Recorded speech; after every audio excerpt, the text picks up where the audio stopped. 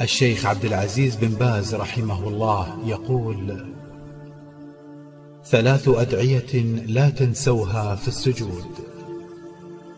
اللهم إني أسألك حسن الخاتمة. اللهم ارزقني توبة نصوحة قبل الموت. اللهم يا مقلب القلوب ثبت قلبي على دينك.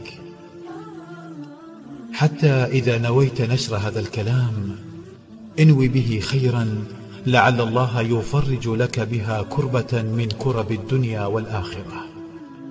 وتذكر أخي الحبيب افعل الخير مهما استصغرته فلا تدري أي عمل يدخلك الجنة.